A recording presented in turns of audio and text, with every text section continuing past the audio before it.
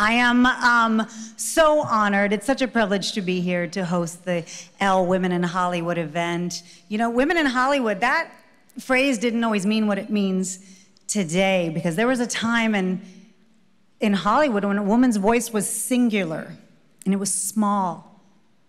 It was unable to carry one woman, much less all women. And I'm sure we have all found ourselves to be the only woman in the room outmanned and outmaneuvered, and our seat at the table would never have been given to us. To us. Like they would give it to like one woman. Like, yeah, you you can do that, but not us, all of us.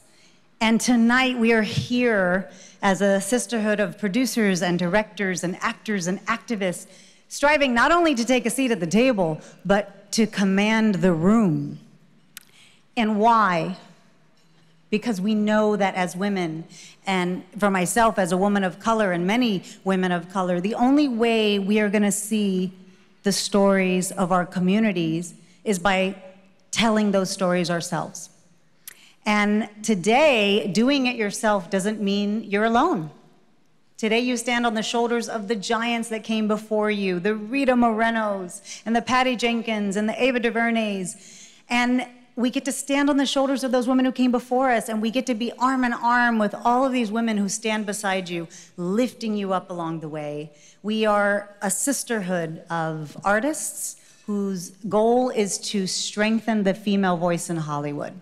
And not because we want to, because we have to.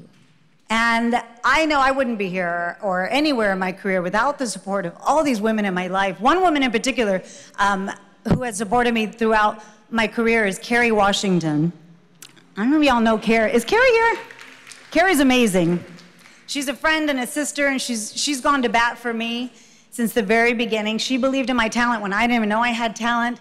And we had a movie set up at Universal. We have a movie set up at Universal, and we were looking for a female director.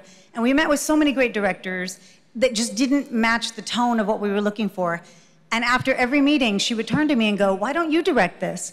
And I was like, Oh, God, no, I, I, I couldn't. I'm not ready. And she was like, Okay. And we'd take another meeting, and it wasn't the right match. And she's like, Why don't you direct this? And I said, No, no, no, I'm not ready. But finally, like after five or seven meetings, she convinced me that I was ready. And she worked on the pitch with me, and she rehearsed it with me, and she wrote it with me. And I remember we were pitching at Universal Pictures, and it, and it came to the part where I was like going to launch into like why me and I why I should be this person.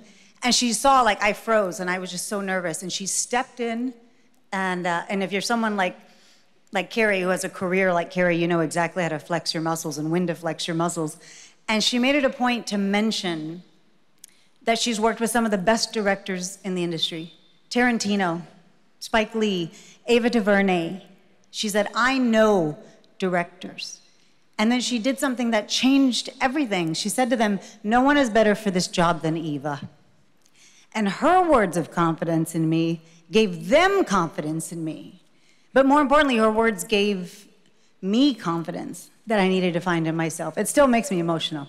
Um, but that is the kind of power that women have when they unite, when we build each other up and we set a foundation for generations of women to come because we're unstoppable. And that's what tonight is about, is celebrating all these amazing, unstoppable honorees.